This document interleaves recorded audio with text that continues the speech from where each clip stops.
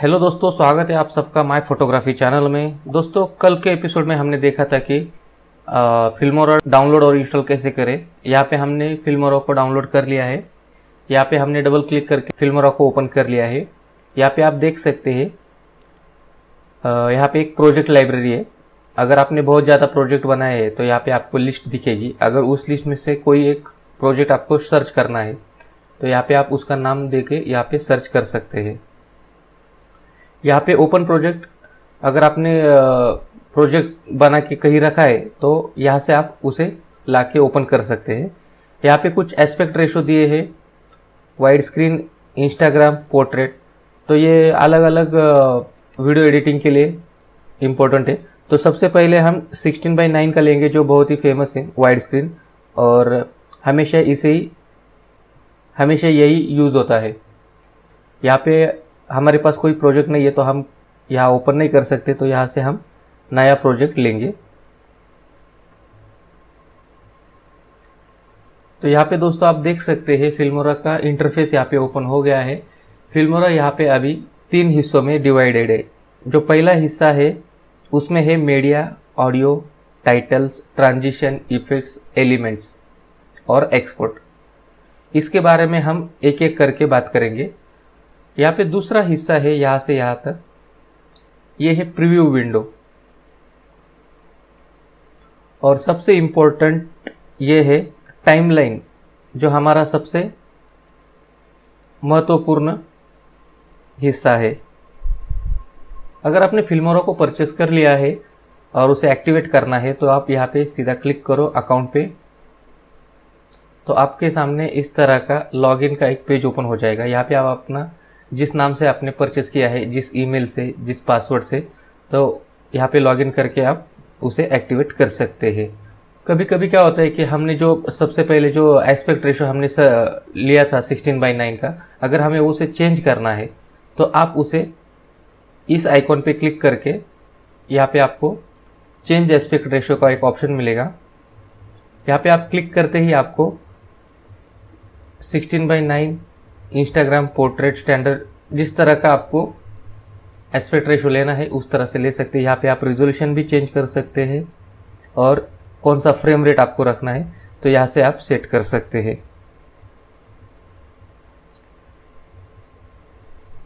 अभी हम देखते हैं कि मीडिया इंपोर्ट कैसे करते हैं। मीडिया में ऑडियो आता है इमेजेस आते हैं और वीडियोज़ आते हैं। तो सबसे पहले हम यहाँ पे क्लिक करके हमारी मीडिया को इंपोर्ट करेंगे। यहाँ से हम मीडिया इंपोर्ट करेंगे। अगर आपको सभी, जितने भी यहाँ पे जो फाइल्स है, अगर आप सबको सेलेक्ट करना है तो कीबोर्ड शॉर्टकट कंट्रोल ए और यहाँ से आप ओपन कर सकते हैं। या फिर उसमें से, इस मीडिया में से कुछ फाइल्स आपको लेनी है तो कंट्रोल दबा के माउस का खाली बटन आपको क्लिक करना है तो आपकी मीडिया फाइल्स इंपोर्ट हो जाएँगी। या फिर कभी कभी क्या होता है कि एक सीरियल वाइज हमें मीडिया सेलेक्ट करनी पड़ती है तो जो भी पहली क्लिक जो भी पहली क्लिप रहेगी, उसे क्लिक करके शिफ्ट दबा के हम लास्ट वाली जो भी हमारी मीडिया है, उसे क्लिक करके हमारी जो भी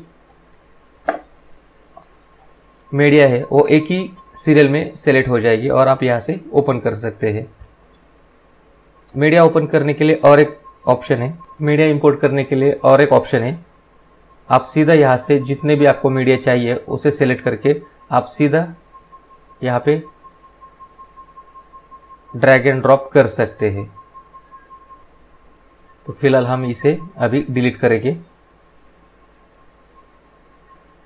अब हम दूसरी मेथड की तरफ़ जाएँगे। यहाँ पे आपको इंपोर्ट का एक टैब दिखाई देगा। आपको यहाँ पे क्लिक करना है और आप यहाँ से मीडिया इंपोर्ट कर सकते हैं। सेम प्रोसेस अगर आप फ़ाइल इंपोर्ट करने के लिए शॉर्टकट भूल गए हैं तो यहाँ पे इंपोर्ट के सामने, इंपोर्ट मीडिया फ़ाइल के सामने इसका शॉर्टकट दिया है। तो आप इसे भी यूज़ कर सकते हैं। यहाँ पे मैं कंट्रोल आई करूँगा, और जितने भी हमारी मीडिया है, इसे हम ओपन करेंगे।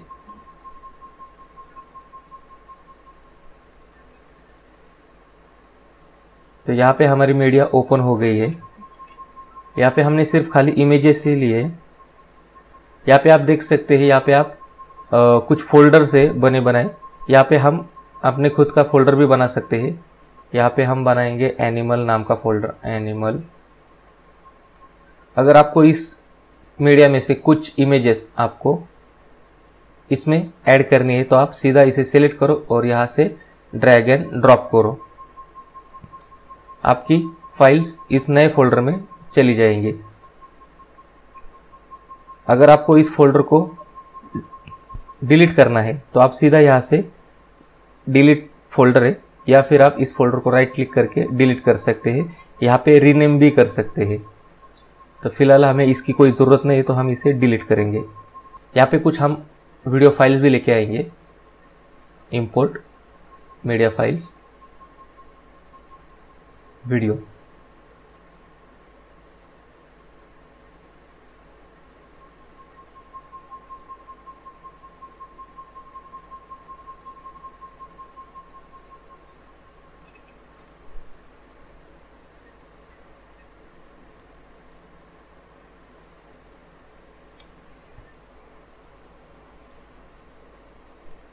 यहाँ पे हमने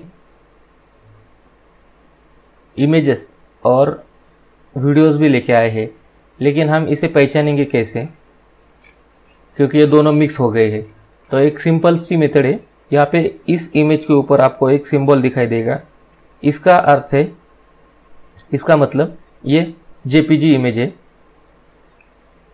और अगर आप थोड़ा सा नीचे जाएँगे वीडियो फ़ाइल में आपको एक अलग सा सिंबल दिखाई देगा।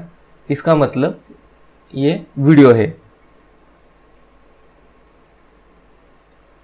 यहाँ पे कुछ ऑप्शन है। अगर किसी मीडिया को आपको यहाँ पे सर्च करना है उसके नाम से तो यहाँ पे आप खाली उस ना, नाम लिखेंगे तो उस नाम की फ़ाइल आपके सामने ओपन हो जाएँगी। यहाँ पे मैंने कैट यहाँ पे मैंने कैट लिख दिया तो जितने भी कैट के इमेज थे यहाँ पे ओपन हो गई है। तो इस तरह से आप इमेजेस या फिर वीडियोस उसके नाम से सर्च कर सकते हैं। यहाँ पे एक दूसरा ऑप्शन है व्यू का। यहाँ पे आप थंबनेल व्यू देख सकते हैं।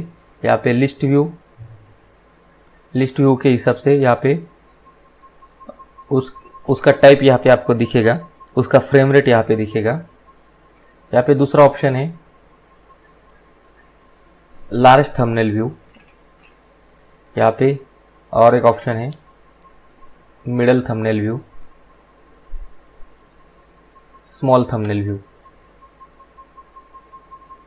यहाँ पे एक दूसरा एक फ़िल्टर का ऑप्शन है। अगर आपको खाली वीडियोस पे ही काम करना है और आपको खाली वीडियोस ही शो करने हैं तो आप इसको वीडियो पे क्लिक करेंगे तो आपको उस मीडिया फ़ाइल में से सिर्फ़ सिर्फ़ वीडियोज़ ही आपको दिखाई देंगे।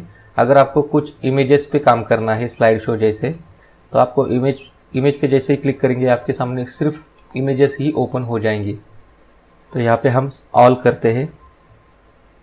इन मीडिया फ़ाइल को टाइमलाइन में लाने के लिए दो ऑप्शन है। यहाँ पे आपको एक प्लस का सिंबल दिखाई देगा। जैसे ही आप इसको प्लस पे सिंबल पे क्लिक करेंगे तो ये फाइल्स यहाँ पे टाइमलाइन में ऐड हो जाएँगी।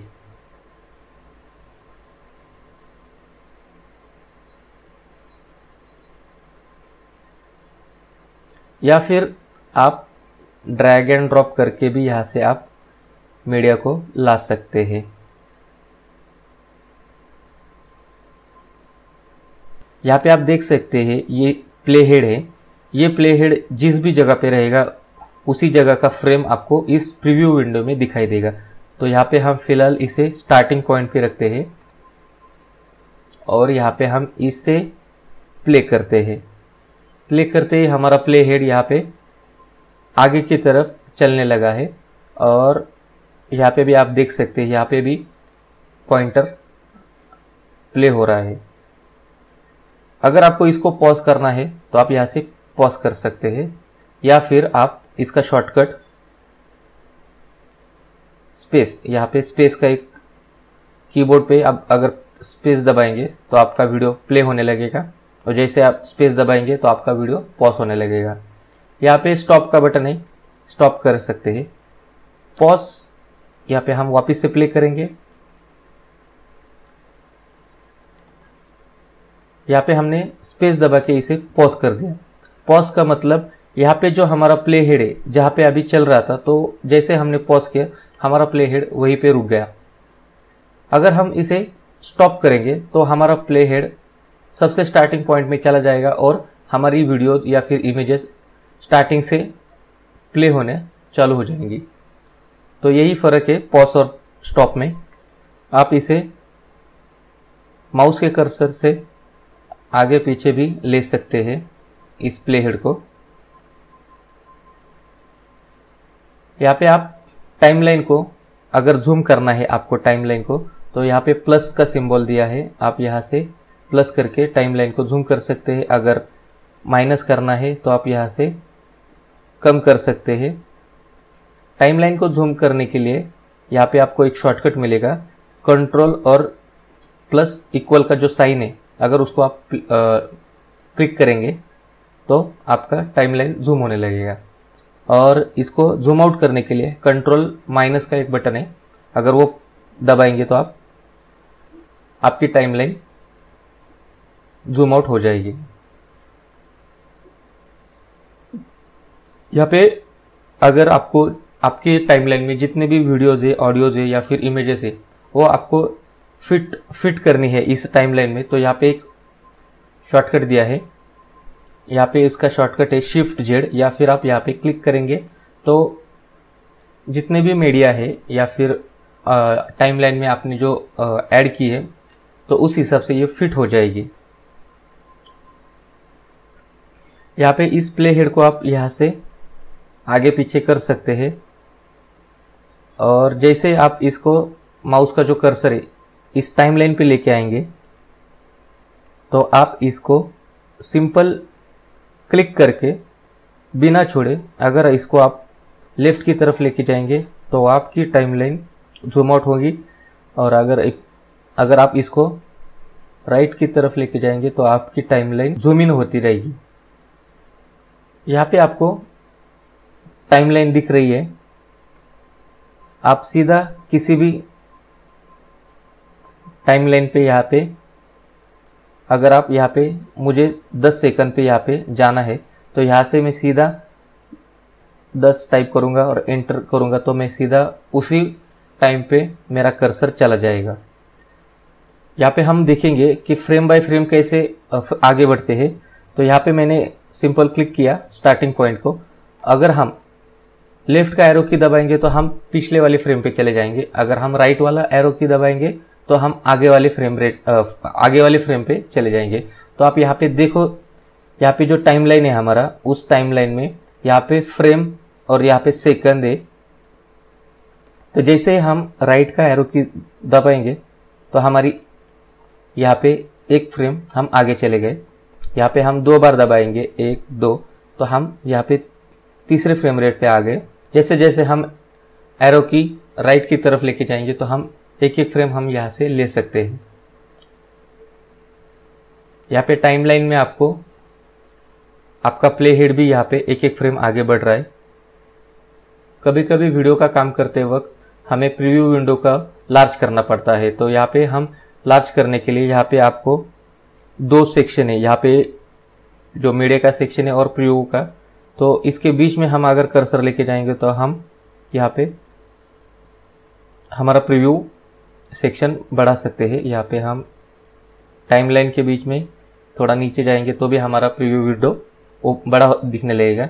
या फिर अगर आप इसे फुल स्क्रीन में देखना चाहते हैं तो यहाँ पे सिंपल यहाँ पे अल्ट एंटर क्लिक करेंगे। या फिर यहाँ पे क्लिक करेंगे तो आपका प्रीव्यू विंडो फुल स्क्रीन में ओपन हो जाएगा। यहाँ पे एस्केप बटन दबाओ कीबोर्ड से आप बाहर आ जाओगे। तो फ़िलहाल हम इसे ही पहले जैसे ही रखते हैं।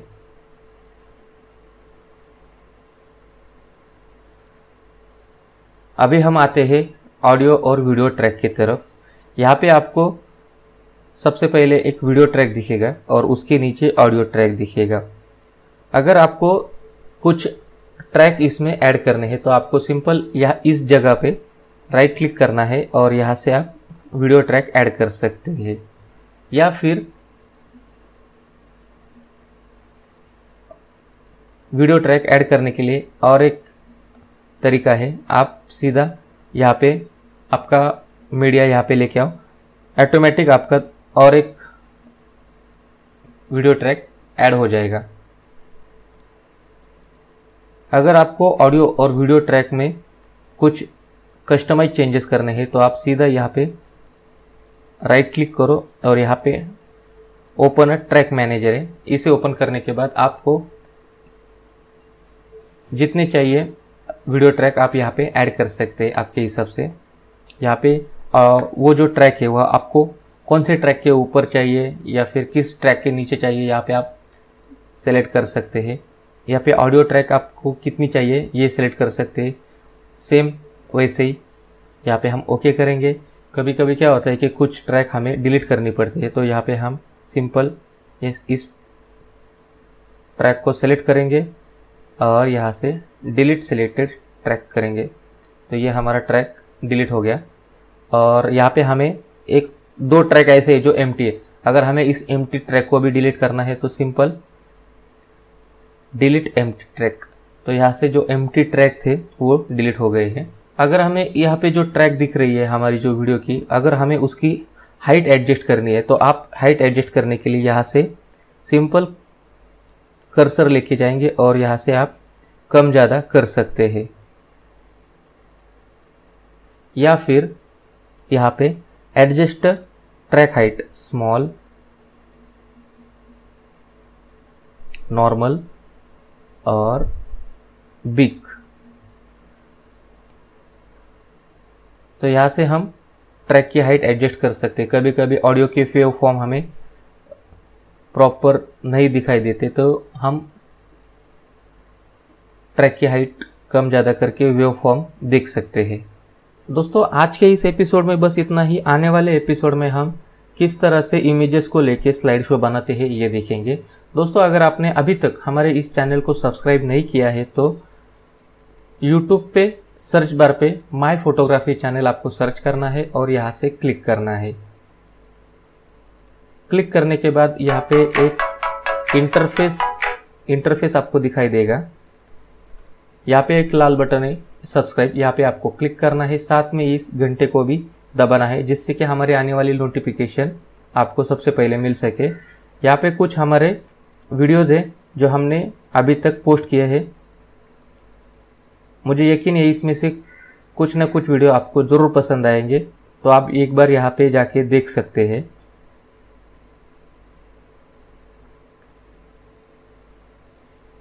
ये जितने भी वीडियोज़ है, सब फोटोग्राफी और फोटोशॉप और एडिटिंग के रिलेटेड मैंने यहाँ पे पोस्ट किए हैं। अगर आप इंटरेस्टेड है तो आप यहाँ पे जाके इस वीडियोस को देख सकते हैं। यहाँ पे अलग से मैंने प्लेलिस्ट भी बनाई है। अगर उस प्लेलिस्ट में आपको इंटरेस्ट है किसी पर्टिकुलर सब्जेक्ट पे तो आप यहाँ से भी उसको सेलेक्ट करके देख सकते हैं।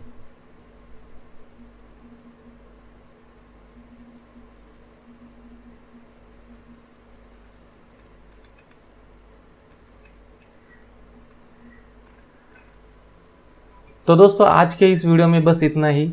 ये वीडियो आपको कैसा लगा लाइक करो, अपने दोस्तों के साथ शेयर करो।